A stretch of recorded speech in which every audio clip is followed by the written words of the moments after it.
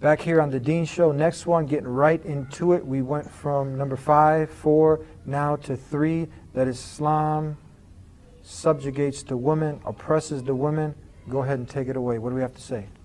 Well, the best thing we can say is ask Muslim women. You see them in the streets all over the place. You know what they wear. Ask them if they feel that they're oppressed. Ask them if they're putting on this garment because of their husband, because of pressure from the society, or they're doing it out of conviction that they're doing this for their Lord.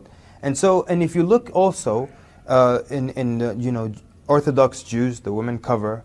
The, in Christianity, uh, many different denominations, you'll find the women cover and they cover their head. And I'll tell you something else. You know, obviously, when you read the Bible, it tells you that you know the woman is not supposed to go with her hair uncovered, her head uncovered in the church. It clearly says this in the Shave Bible, her head off. right? Well, there's one one other thing that happens.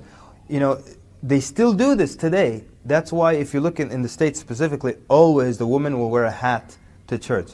That hat to church is the remnant, is the remainder of that order to not go into church with your head uncovered. Yeah. So even the woman wears her hat to church, she doesn't really know why she's doing it, but she's doing it initially because people used to not uncover. So now Ju- Jews are not supposed to uncover, and the Christian women are not supposed to uncover, but the ones following their scripture f- primarily would be the Muslims, and so now they're singled out as the ones who are, you know, whatever, oppressed or this and that, but everybody's supposed to be doing that to begin with. Wasn't the church for some time contemplating if the woman even had a soul?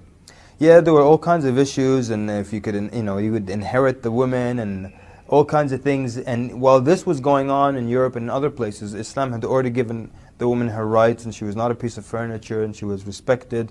But again, it takes, you know, the honest individual who is going to go out and ask questions, seeking the truth and seeking the right answer. And if you examine and you can stop people and ask them and speak to them, and you'll see the truth that it's not about oppression or anything of that sort. That the